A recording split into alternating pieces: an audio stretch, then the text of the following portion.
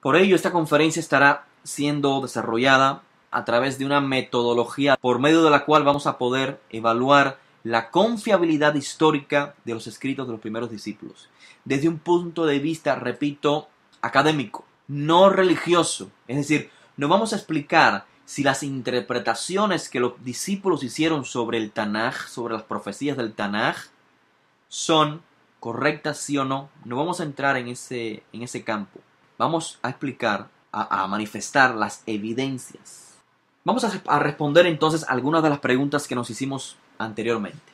Si hace dos mil años que supuestamente tomaron lugar los eventos narrados en los escritos de los discípulos, nos preguntan los escépticos, ¿cómo se puede hoy afirmar que en realidad pasaron los eventos allí narrados? O sea, dos mil años después me vas a decir que lo que pasó es verdad. Cada conferencia que doy, cuando comenzamos a hablar de Josué, de sus discípulos, el primer ataque escéptico o antimisionero es ¿con qué bases hablan?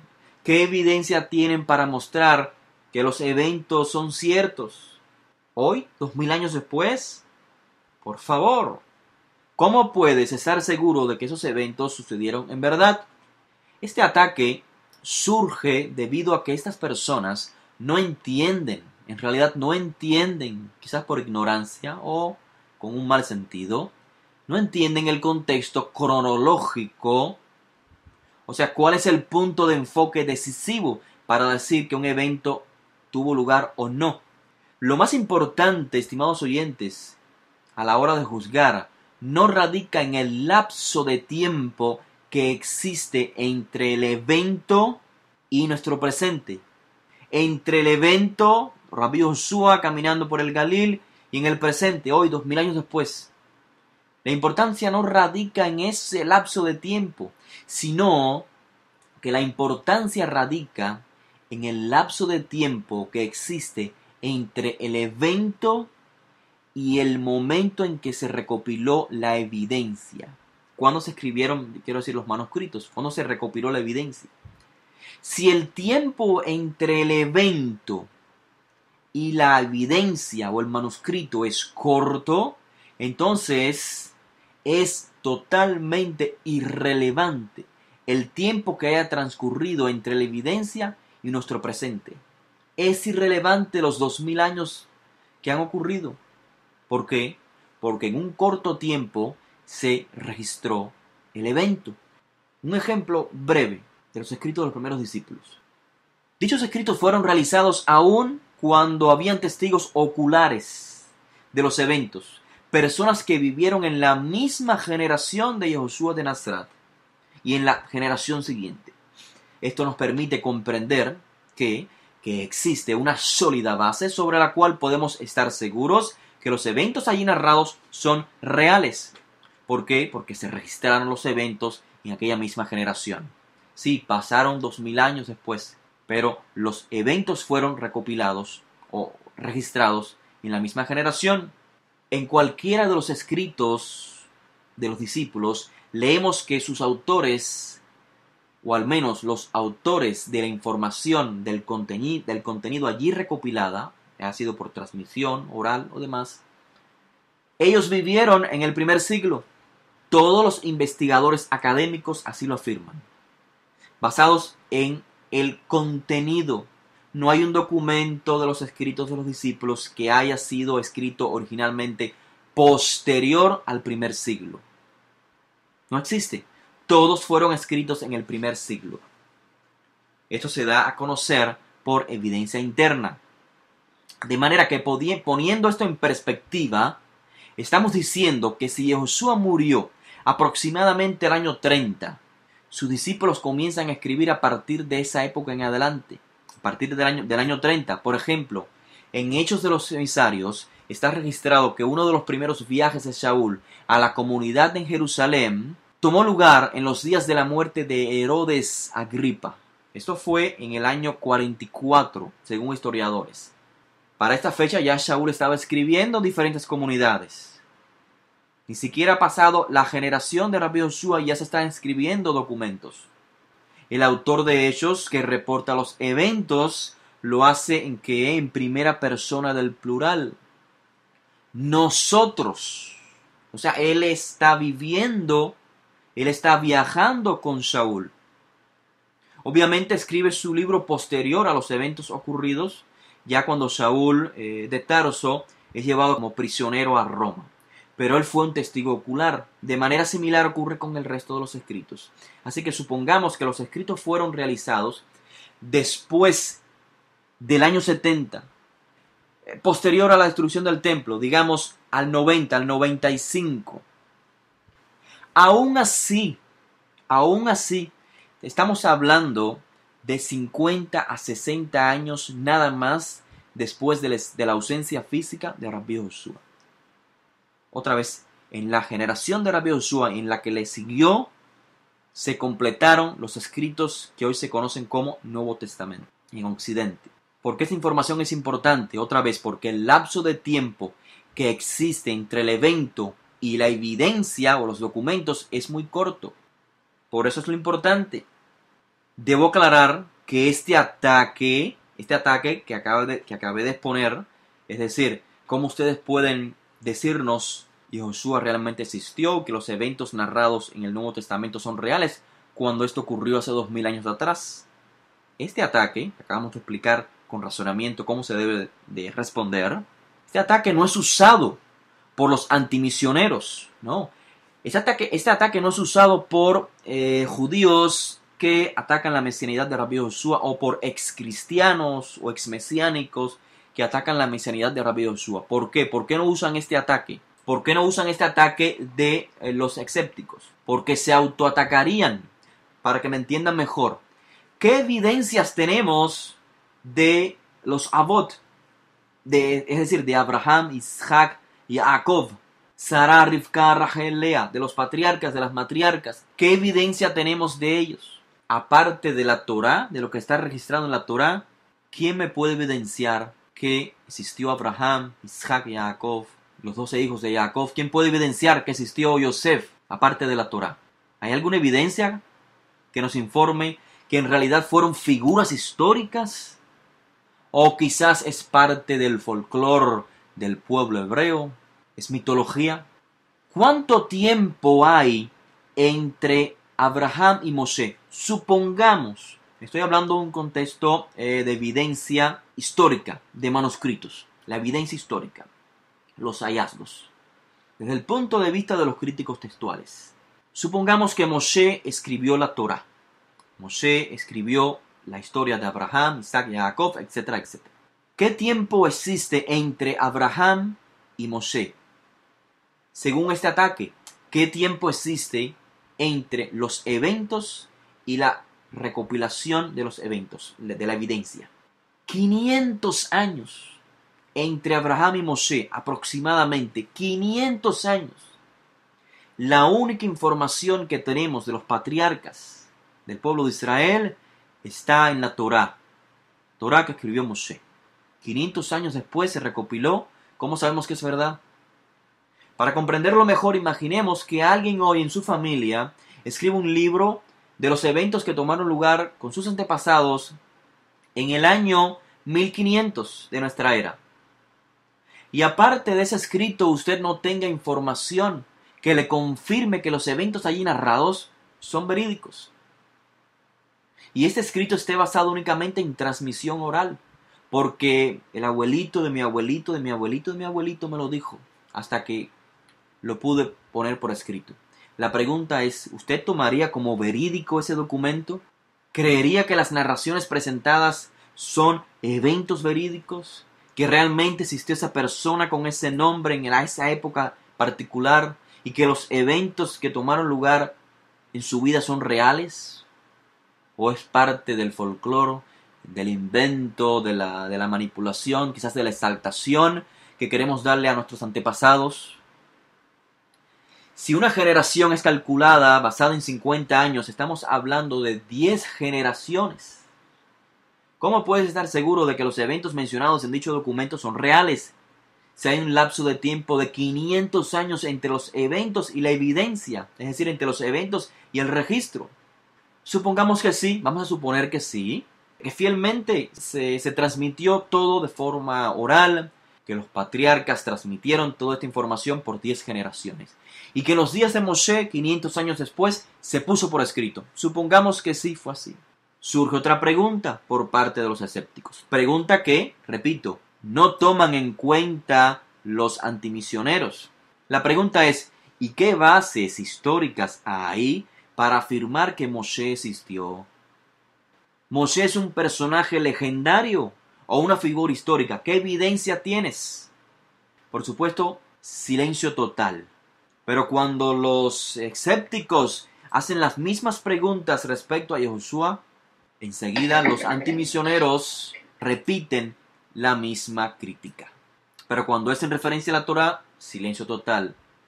Los manuscritos más antiguos de la Torah, por si usted no lo sabía, son los hallazgos de los rollos del Qumran, que son recientes hallazgos. Los manuscritos más antiguos de la Torah datan aproximadamente entre el año 200 antes de la era común y el año 70 de la era común. De manera que podemos decir que existen a grosso modo unos 1400 años entre el original de la Torá, es decir, entre los días de Moshe y las copias halladas en el Qumran. Repito, 1400 años entre el original que habrá escrito Moshe y las copias que hoy se han hallado. 1400 años. Podemos confiar que no hubo una alteración que no hubo un agregado en 1400 años, que todo lo que tenemos hoy es exactamente lo que escribió Moshe. Es sobre esta evidencia, o mejor dicho, falta de evidencia, que los escépticos dicen no hay evidencia sólida de que Moshe haya existido, mucho menos los patriarcas, Abraham, Isaac, Jacob. ¿Qué dicen los escépticos? La Torah fue escrita en el exilio babilónico. Esdra, Nehemías son los verdaderos autores. Lo que sucede es que los críticos de Rabbi Joshua solamente toman la información que los escépticos hacen sobre Joshua y los, y los escritos de los discípulos, pero no toman en cuenta lo que los mismos escépticos dicen sobre el Tanaj, sobre la Torah. En otras palabras, estimados oyentes, los manuscritos de los escritos de los primeros discípulos, según la evidencia, son los escritos históricos más cercanos a los eventos allí narrados y con más cantidad de manuscritos que lo evidencien en comparación con otros documentos históricos, sobre todo con documentos judaicos o griegos o romanos. Y ahora veremos además la gran cantidad de manuscritos que lo evidencian. Desde un punto de vista crítico, con la evidencia histórica, es mucho más razonable, mucho más lógico confiar en los eventos narrados en los escritos de los discípulos que, los, que confiar en los eventos narrados en el Tanaj. Repito, desde un punto de vista crítico, no estamos tocando el tema teológico. El rey David, el gran rey David, uno de los personajes más destacados de nuestra historia, del Tanaj, ¿Qué evidencia hay de que existió? Pregunto, ¿qué evidencia hay de que existió? Según el Tanaj, David vivió mil años antes de la era común, aproximadamente. Y no fue sino hasta el siglo XIX de la era presente, entre el siglo XIX y el XX, que fueron descubiertas solamente dos tablas de piedra en donde se menciona la casa de David hasta el siglo XIX y el XX, casi dos mil años sin evidencia de que David existió, aparte del, Tanaj. Y muchos finalmente se sintieron con la potestad de enfrentar a los escépticos y decirles, ajá, miren, aquí está la evidencia. Lo que dice el Tanaj es cierto, David sí existió. No vayas tan rápido, no vayas tan rápido, porque porque según la evidencia, si nos sujetamos a la evidencia, efectivamente, existió un hombre llamado David, el cual tenía una dinastía, Bet David, la casa de David. Pero de allí, de esa evidencia, a creer todo lo que dice el Tanaj sobre David, esa es otra cosa. ¿Dónde está la evidencia? ¿Dónde están los manuscritos?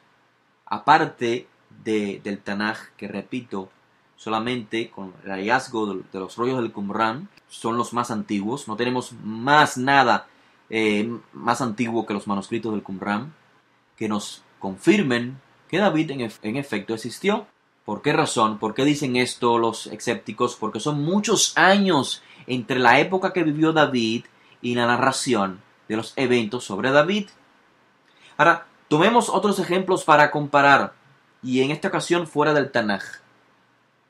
Por ejemplo, hablemos del Talmud. Hablemos de la literatura que nosotros, Talmidei Yoshua Minasrat, valoramos, inclusive motivamos a nuestros discípulos a que la estudien, a la, literatura que se define en el mundo occidental como rabínica. Hablemos de ellos. La literatura que altamente defienden los así denominados eh, antimisioneros, los que atacan la mesianidad de Rabbi Joshua, aquellos que en una antigüedad decían confiar en el Nuevo Testamento y en nuestros días dicen que eso no sirve, que la verdad se encuentra en la literatura rabínica. Vamos a hablar de eso. Vamos a ver la evidencia. Vamos a juzgar con la misma regla. Vamos a usar las mismas balanzas. Hillel, Rabbi Akiva, los rabinos allí mencionados. ¿Hay evidencia de que existieron aparte de lo que está registrado en la literatura rabínica? Pregunto, ¿hay, ¿hay evidencia? La misma pregunta se la pueden hacer ustedes a ellos. Cuando les digan, ¿qué evidencia antigua tienes de que Jesús existió? ¿Qué evidencia existe de que Gilel, Rabbi Akiva, personajes más destacados, existió? O Gamliel. Vamos a usar las mismas balanzas. Digamos que existieron. Perfecto. Vamos a decir, vamos a suponer que existió una persona llamada Gilel, es el mismo descrito en la literatura rabínica, aquí también existió Rabbi Akiva. Ahora, ¿qué evidencia hay de que los dichos atribuidos a ellos en dichos documentos realmente surgieron con ellos? ¿Qué evidencia hay? Que ahí dice que Gilel dijo esto y aquello, Rabbi Akiva dijo esto y aquello. ¿Y cuál es la evidencia de que eso lo dijeron efectivamente ellos y que no lo pusieron en su boca escritores posteriores. Miremos la evidencia que nos dice. Tradicionalmente, ¿quién es el compilador de la Mishnah? La, tradición que nos dice Anasi, descendiente de Gilel, supuestamente, el cual vivió entre el 135, el año 135 al 217, esto es de la era común.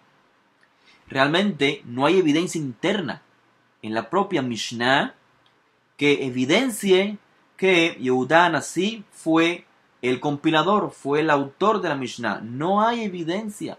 Es una tradición tardía, la cual comenzó a decir que, a transmitir que Yehuda Nasi fue, fue el compilador. No hay evidencia interna. Partamos de eso. Bien, supuestamente la Mishnah, ¿cuándo fue terminada? A principios del 200. Se dice que murió Yehuda Nasi, el supuesto compilador, y que en esos años seguidos a su muerte se finalizó el documento de la Mishnah. Estimados oyentes, hoy no existe la Mishnah de puño y letra de Yehudá Nasi. Esa que dice que fue compilada en los años 200, hoy no existe la Mishnah. Ni siquiera la Gemara, es decir, el comentario de la Mishnah, lo cual compone el Talmud, la Gemara de Rabina y Rav Ashi, no existe estos documentos, esos rollos, no existen. No es exactamente lo mismo que muchos antimisioneros le dicen a ustedes. No existen los rollos de Pedro, de Pablo, no existen. Entonces ustedes no pueden hablar de nada de eso, porque no tienen la evidencia.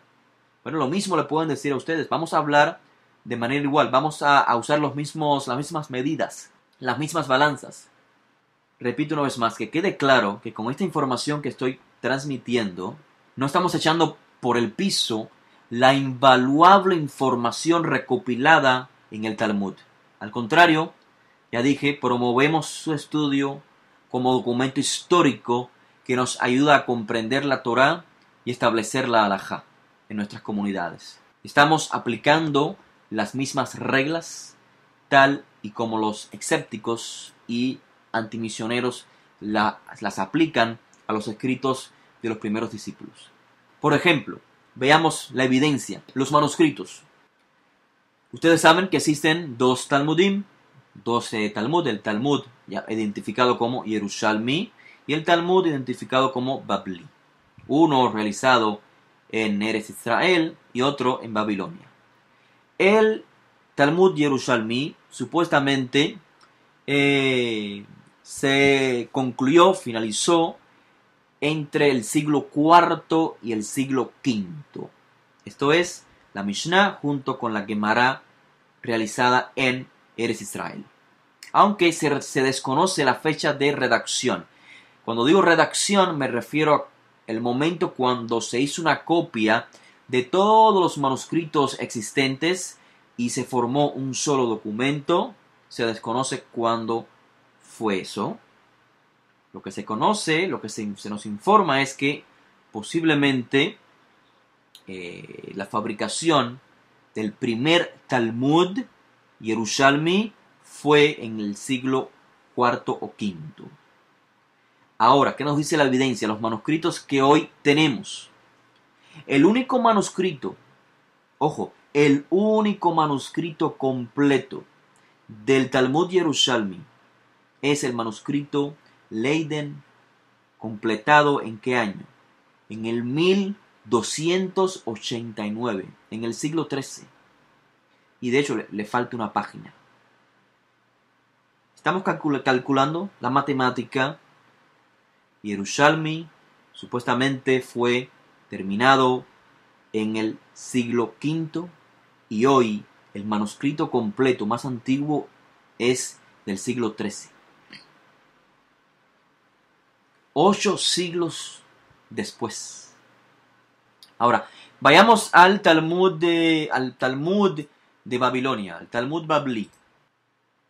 Se desconoce la fecha otra vez de redacción, supuestamente fue en el año, e, en el siglo 7-8. No se sabe con, certeza. El manuscrito Múnich, completado en qué año? En el siglo 14, en el 1343. Y le faltan 18 páginas. El manuscrito más antiguo, también parcial. Pero el más antiguo es el manuscrito eh, de Leningrad, Firkovitz, el cual data del 1112. ¿Qué quiere decir toda esta información en términos de la Mishnah? La Mishnah fue escrita a principios del siglo III, supuestamente, hipotéticamente después de la muerte de Yehudá Hanasí, por tradición, y el manuscrito más antiguo que hoy tenemos, completo, data del siglo XII. Eso significa, estimados oyentes, que hay un lapso de aproximadamente 900 años. 900 años entre los originales y las copias. Y en el caso de la quemará, un aproximado de entre 500 a 800 años entre los originales y las copias.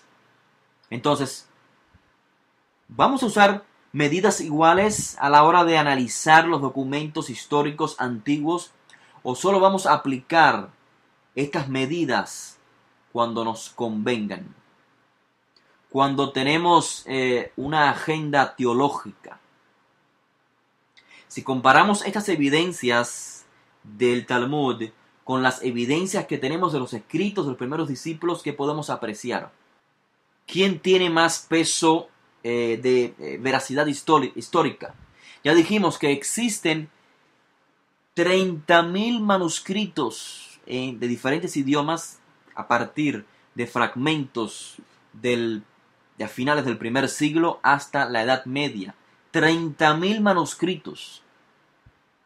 Es increíble. 30.000 manuscritos. Esto no se encuentra en ningún otro eh, documento antiguo. 30.000 manuscritos de los escritos de los primeros discípulos porque esta cantidad, por supuesto, hace que se creen una serie de variantes textuales, como dije previamente. Pero lo bueno, la buena noticia es que de tantos manuscritos que tenemos, podemos compararlos y llegar entonces a una mejor comprensión de los eventos ocurridos hace dos mil años atrás. Gracias a la gran cantidad de manuscritos podemos compararlos y decir, Si todos dicen que las mujeres fueron el primer día de semana al sepulcro y no estaba allí la Yehoshua, efectivamente así debió ser. Pero si existen unos manuscritos que dicen que sí estaba allí, otros que dicen que no, que fue el, el día quinto de la semana, entonces tenemos una duda. Pero esa no es la realidad. Gracias a, los, a la gran cantidad de manuscritos y cómo todos coordinan en los mismos eventos, podemos confiar en ellos. Lo mismo, estimados oyentes, no se puede decir del texto de la Torá, lamentablemente, ni del Talmud, lamentablemente. No solo por la escasez de los manuscritos antiguos que hasta hoy se han hallado, sino por el lapso de tiempo que tienen los manuscritos de la época en que sucedieron y los eventos allí registrados. ¿Cómo podemos afirmar que el texto de la Torá contiene exactamente lo que tenía en su original si las copias se separan del original por aproximadamente 1400 años? Y aún las copias a partir del Qumran no son exactamente iguales a, las, a los textos masoretas, basados en las cuales hoy se escriben los Sifrei Torah, los, los rollos que están en las sinagogas ni son iguales al, texto samaritano, ni son iguales al texto de la Septuaginta, que antecede al texto masoreta. Y del Talmud, ¿qué podemos decir, estimados oyentes?